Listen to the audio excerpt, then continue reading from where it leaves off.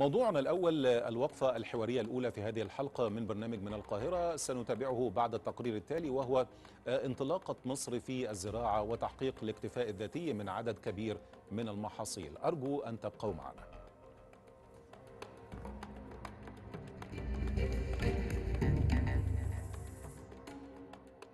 يعد قطاع الزراعة والأمن الغذائي أحد المحاور المهددة بسبب قضية التغيرات المناخية بالتوازي مع احتمالية تغير خريطة المحاصيل الزراعية واللجوء للمحاصيل التي تتحمل درجات حرارة منخفضة أو مرتفعة وما يتبعها من استهلاك للمياه والمعروفة باسم الزراعة المستدامة. وارتباطا بذلك تعمل الدولة على تنفيذ عدة مشروعات مرتبطة بالأمن الغذائي والزراعة المستدامة منها مشروع الصوبات الزراعية لزراعة خمسة آلاف صوبة زراعية على مساحة عشرين ألف فدان. كما يتم تنفيذ مشروعات لاستنباط محاصيل جديدة تتحمل درجة الحرارة والملوحة وتعطي إنتاجية كبيرة. وتعمل الدولة أيضا على مشروع الاستزراع البحري في المحافظات الساحلية بجانب مشروع حماية الأراضي المنخفضة في دلتا النيل وذلك بالتعاون مع برنامج الأمم المتحدة الإنمائي وأيضا العمل في مشروعات حماية الشواطئ في منطقة الساحل الشمالي ودلتا النيل. وفي هذا السياق أكد عدد من الخبراء على أن قمة المناخ بشرم الشيخ ستركز على تحقيق التحول في قطاع الزراعة والغذاء على أسس علمية صحيحة بما يساعد في التصدي للتغير المناخي.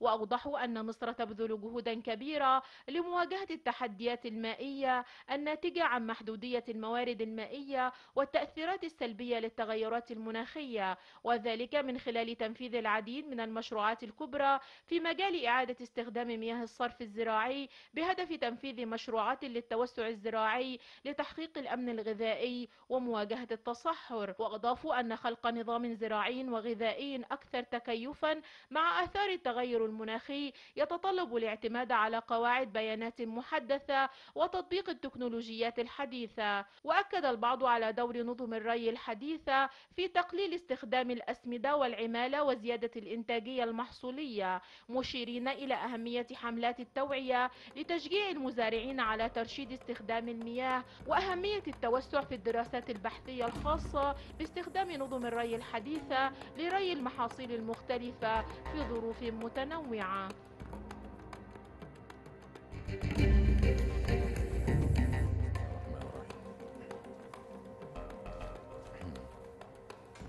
إذا قطاع الزراعة والأمن الغذائي بما يمثله من أهمية خاصة للأجيال الحالية والأجيال القادمة وما يمثله من قضية أمن قومي للدول خاصة تلك الدول التي تتأثر بسلاسل الإمداد والتوريد التي تشهد نوعا من التعطل بسبب الظروف العالمية خاصة منها ما يرتبط بالقضية الروسية الأوكرانية.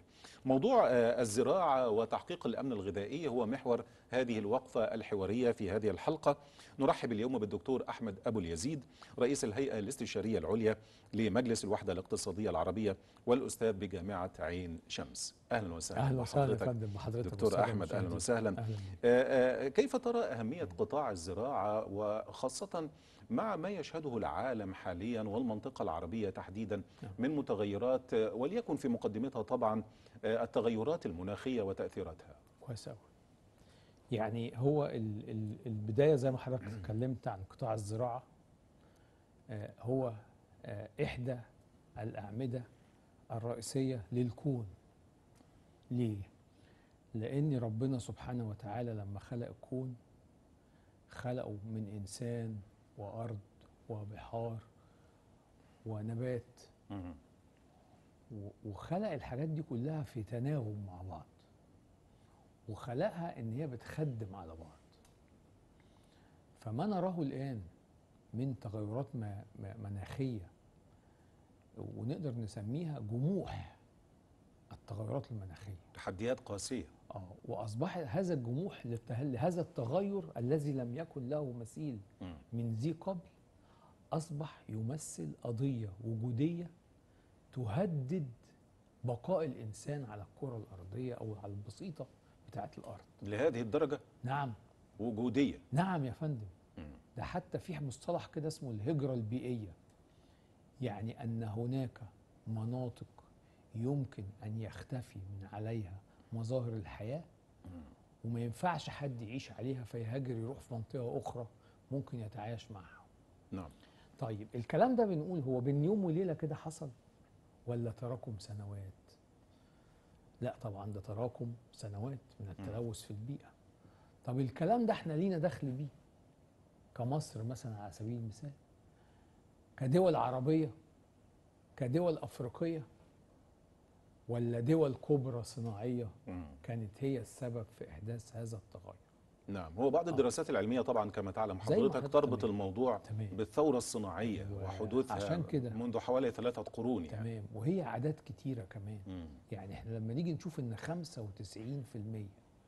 من السبب اللي حاصل بجموع التغيرات المناخية والاحترار العالمي والتلوث اللي حصل بسبب ال 95% اللي هم المناطق الصناعية الكبرى اللي هي الدول الكبرى الصناعية. لما نيجي نشوف إحنا دورنا قد إيه كمصر؟ 6 من 10% الدول العربية لا تتجاوز الخمسة في المية. دول أفريقيا لا تتجاوز في المية. آه. طب الكلام ده يعني واحد هيقول لي طب الله ما نسيب الدنيا كده خلاص لا ده إحنا إحنا كدول ناشئة مم.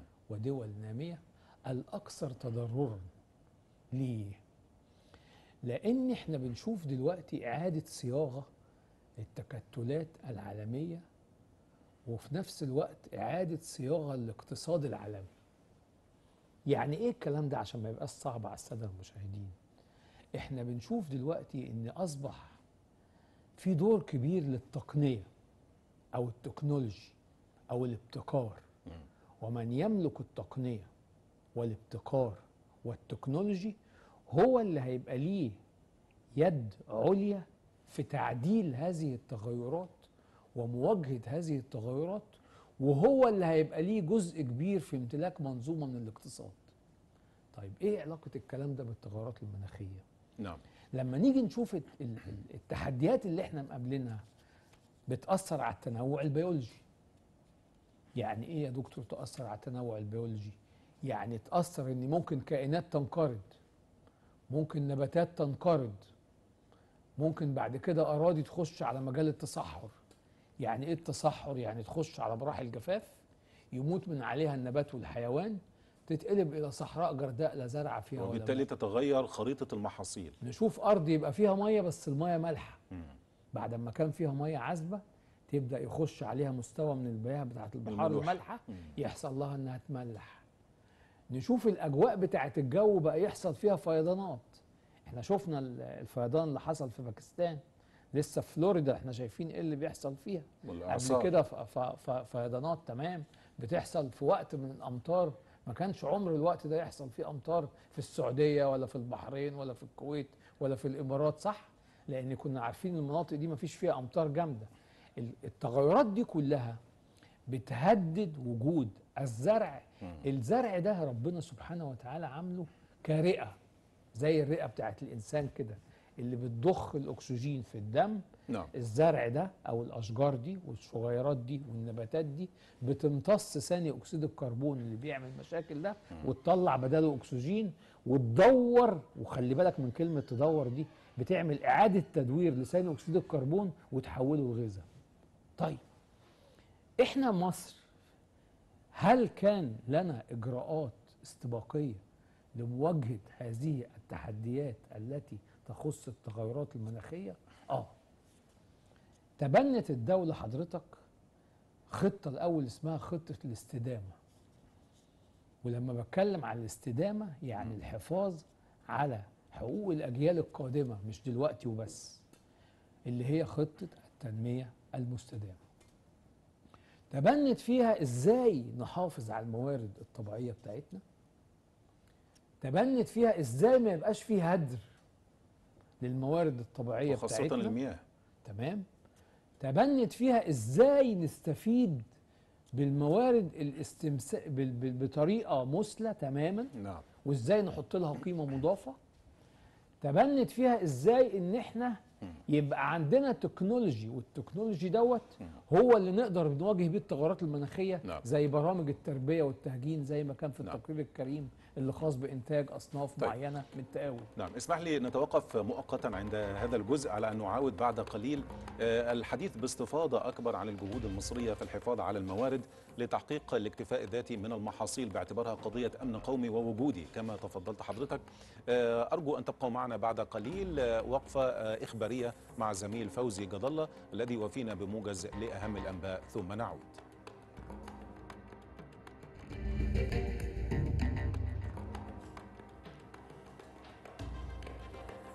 أهلا بكم مرة أخرى مشاهدينا الكرام ما زلنا معا في هذه الحلقة من برنامج من القاهرة نواصل حديثنا عن موضوع آه، الأمن الغذائي وقطاع الزراعة باعتباره قاطرة للنمو والتنمية الاقتصادية.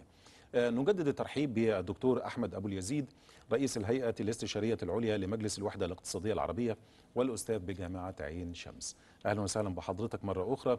آه، نواصل حوارنا مع حضرتك عن قضية الحفاظ على الموارد وخاصة المياه والطاقة وغيرها باعتبارها أساس لتنمية قطاع الزراعة. نعم يعني زي ما حضرتك تفضلت إحنا يعني الموارد لو مسكنا كده أول مورد وأهم مورد اللي هو المياه مصر تعاني من تحديات شديدة جدا فيما يخص قضية المياه. إحنا لو جينا شفنا احتياجاتنا من الميه حوالي 114 مليار متر مكعب. لما نيجي نشوف نصيب الفرد في المياه قل عن 500 متر مكعب في السنة. وده يعتبر إن إحنا دخلنا مرحلة فقر مائي. طيب الكلام ده يتطلب مننا لأن إحنا برضو مواردنا في المياه محدودة. إحنا بنتكلم على 55 ونص مليار متر مكعب جايين من حصة النيل. بنتكلم على جزء جاي من الأمطار وده قليل جدا. آه، لما نيجي نشوفه هنلاقيه لا يتعدى الواحد ونص مليار. لما نيجي نشوف على المياه الارتوازية اللي جاية من الآبار حوالي سبعة ونص مليار متر مكعب. لما نيجي نشوف المياه اللي هي جاية من إعادة التدوير. وهحط تحت كلمة إعادة تدوير المياه دي كذا خط. لأن مصر أصبحت الآن من الدول المتميزة في إعادة تدوير المياه والاستفادة منها. يعني إيه إعادة تدوير المياه والاستفادة منها؟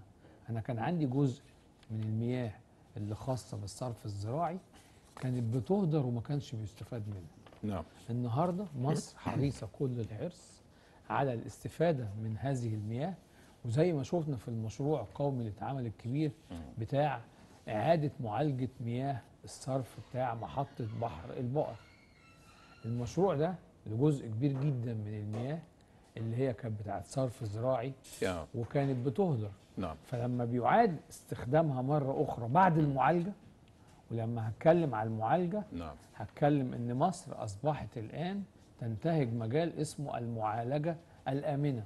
نعم هي يعني- بالمناسبة أكبر محطة على مستوى العالم. بالفعل واخدة م- يعني ريكورد في الكلام ده مم.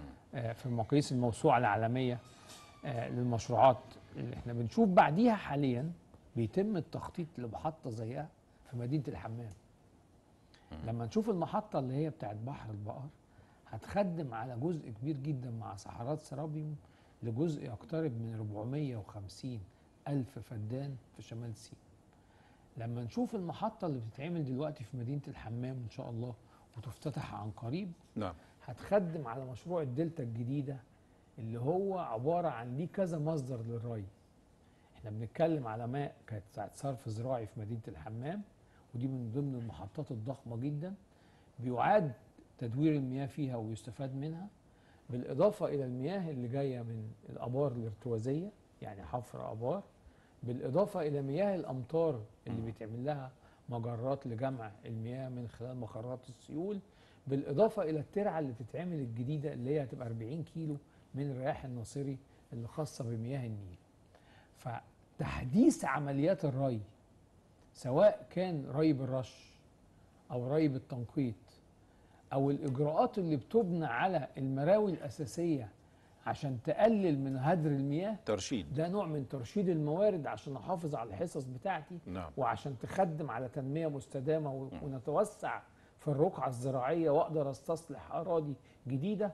وأقدر يبقى في عندي تنمية مستدامة تخدم على الأجيال الجديدة. ده نعم. بالنسبة للمية. لما نيجي نتكلم على نقطة مهمة اتكلمت عليها أنا من شوية اللي هي التكنولوجي التقنية. يعني إيه التكنولوجي والتقنية والتقنيات الحيوية الجديدة؟ لما هتكلم في أصول النباتات النهاردة مصر عندها برنامج قومي زي ما حضرتك اتفضلت في بداية البرنامج في التقرير الكريم. مصر أصبح لديها برنامج قومي لإنتاج التقاوي وتحسين السلالات النباتية بتاعتها لتنتج تقاوي وأصناف تستحمل البرودة. و- وكميات أكبر على. على على مستوى الفدان أو وتنتج- بالنسبة لمساحة وتنتج الفدان. محصول أعلى عشان تعلي من الناتج القومي الإنتاجية. وترفع من الملاءة المالية والاقتصادية بتاعت أهالينا المزارعين. نعم. فالنهاردة عندي أصناف مثلا من الرز. أصناف الرز الجديدة دي بتبقى مبكرة في الإنتاج. مم. طب مبكرة بالإنتاج إيه علاقتها بالمية؟ لا ما يبقى مبكر الانتاج هيستهلك كميات مية أقل. لما يكون عندي أصناف من الرز نقدر نزرعها في أصل في إيه؟ في أجواء نصف رطبة. يعني مش زي المية زمان الرز اللي كان بيتغمر في المية. بالغمر آه. يبقى أنا بقلل من استهلاك المية. وفي نفس الوقت لما يبقى عندي أصناف تستحمل جزء من الملوحة أقدر أتوسع فيها في أراضي شبه ملحية. وكذلك تحمل درجات الحرارة العاليه المرتفعة. أو المنخفضة. الكلام ده كله هو دي برامج التحسين الوراثي والتهجين. اللي إحنا عاملينها في البرنامج القومي لإنتاج التقاوي ومصر متبنية برنامج على المستوى القومي كبير جدا في هذا الكلام وكمان عملت حاجة فوق الكلام ده إنها ضمت لاتحاد آه، هيئة اللي خاصة بالملكية الفكرية للأصناف النباتية اللي اسمها ليبوف عشان تقدر كمان تستخدم الأصناف اللي هي آه، آه، الدول الأخرى الشقيقة نعم. أو اللي إحنا في تعاون ما بيننا وبينها نستخدم هذه الأصناف عندنا نعم. our منذ منذ قليل. أيضا أشرنا في أحد التقارير إلى آه، ما يسمى بالزراعة التعاقدية للمحاصيل الزيتية. كويس جدا.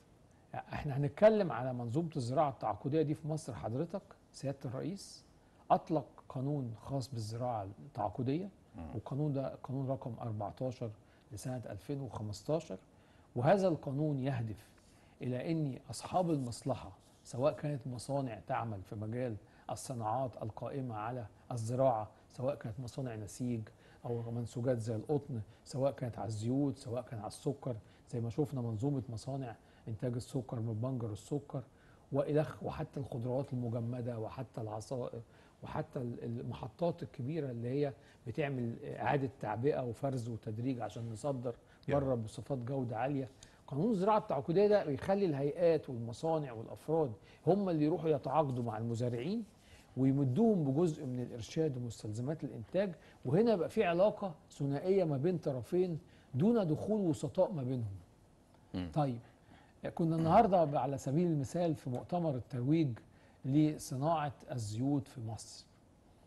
آه، وهذا المؤتمر يأتي في إطار خطة الدولة وتوجيهات القيادة السياسية في تشجيع الاستثمار سواء الاستثمار على المستوى المحلي أو المستوى العربي أو المستوى الأجنبي إن إحنا بندور دلوقتي نكون جاذبين لهذه الاستثمارات وبندور على حاجة تعمل لي نوع من استدامة. لما أحب أعمل استدامة لنوعية معينة من الزراعات نعم. لازم توجد طرف مسوق ليها ما تخليش الفلاح هو اللي يتعب ويدور هيسوق لمين أو هيبيع لمين.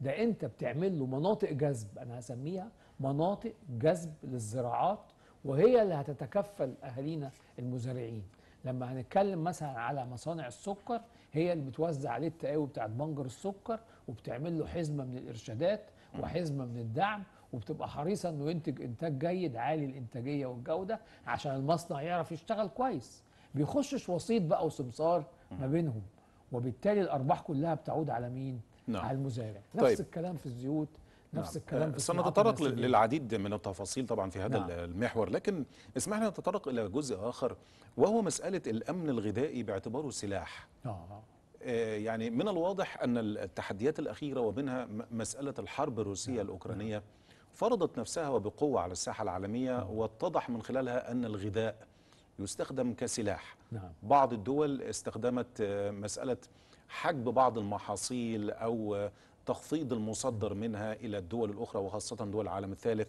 باعتبار هذا سلاح تستخدمه وقت الحرب آه، آه. أو وقت الصراع نعم. آه، إلى أي مدى يمكن لهذه الجزئية أن تترسخ في عالمنا العربي وأن آه، يبدأ هذا العالم أن يعيد إنتاج نفسه وأن يخرج من بوتقة الاحتياج إلى الدول الأخرى في آه. مسألة الغذاء وتحقيق الأمن الغذائي آه حضرتك تطرقت لنقطة مهمة جدا ان أصبح الآن السلاح آه زي ما السلاح كده آه بيبقى هو آه أداة للنزاعات والحروب و و و أصبح ممكن يخش الغذاء يبقى أداة للصراعات وأداة أخرى تستخدمها بعض الدول كورقة سياسية للضغط على دول أخرى. أو حرمانها حتى من نعم، الغذاء يعني. نعم. وقد يكون برضو النزاعات اللي موجودة يعني ممكن الغذاء يبقى موجود وأنت معاك الفلوس بس مش عارف تشتريه لأن مش عارف توصله من بلد المنبع أو بلد المنشأ لعندك. سلاسل اللي هي التوريد. تعطل سلاسل الإمداد والتوريد. طيب إحنا كعرب أو كدول عربية إيه اللي منوط بينا؟ إنه لابد أن حان الوقت حان الوقت. وما ينفعش نأجل الكلام ده. إن يبقى في الكلام اللي إحنا بنقول عليه ونعيد ونأكد عليه التعامل العربي التكامل العربي المشترك وكل يستغل الميزة النسبية لما لديه عشان يبقى في نوع من التكاملية ما بيننا. نعم. إحنا بنتكلم على لما نشوف مصر كانت سباقة. لو تاخد بالك مصر سباقة في الدول الأفريقية عملت المزارع اللي هي معمولة عندنا ما يقرب من 12 مزرعة نموذجية ما بيننا وما بين الدول الأفريقية. عندنا تجارب وشغل معمول ما بين أشقائنا في دولة السودان. نعم. ال ال ال الكلام اللي موجود ده كله لو إحنا كلنا تضافرت الجهود نقدر نتعاون في ثروة ثروة السمكية ثروة الإنتاج الحيواني والداجني والإنتاج الزراعي وعلى الأخص نعم. المحاصيل الاستراتيجية ونكمل بعض عشان ما نبقاش ما نبقاش مم. أسيرين لبعض الدول. دي نعم. نمره آه، واحد نعم تفضل الحاجة التانية تعدد المناشئ. يعني بدل ما كنت بتجيب من دولة معينة أو دولتين بس عدد المناشئ بتاعتك الحاجة التالتة والأهم. اللي مصر أخذتها اللي هي سلسلة المخازن اللوجستية الاستراتيجية لأن لولا أن مصر كانت تمتلك الآن سلسلة من المخازن اللوجستية الكبيرة ما كانش يبقى عندها قدرة ان معظم السلع الاستراتيجية يبقى عندها فترة تخزين استراتيجي آمن للمواطن يتعدى الست شهور وساعات سبع شهور أو خمس شهور ونص. ال ال ال لما يبقى عندك المخازن الآمنة دي. بتحافظ لك على السلع اللي موجودة من الفقد مبقاش فيها فاقد. بتحافظ عليها من التلف. بتحافظ عليها إن يبقى في إمداد مستمر وإتاحة للمواطنين على مستوى المحافظات نعم. في السوق. مم. والإتاحة دي مهم جدا لأن الندرة هي اللي بتخلق المشكلة. آه، شكرا جزيلا لحضرتك على كل هذه التوضيحات عن مسألة الأمن الغذائي والاكتفاء من المحاصيل الزراعية. آه، شكرا للدكتور أحمد أبو اليزيد رئيس الهيئة الاستشارية العليا لمجلس الوحدة الاقتصادية العربية والأستاذ بجامعة عين شمس. شكرا جزيلا دكتور أحمد. شكرا يا فندم لحضرتك أستاذ مشاهد ومشاهدينا الحاقا بهذا الموضوع آه، تحقيق الأمن الغذائي وأيضا محور أهمية التكامل العربي لتحقيق الأمن الغذائي وتحقيق طفرة اقتصادية في عدد من الدول العربية ومنها طبعا مصر.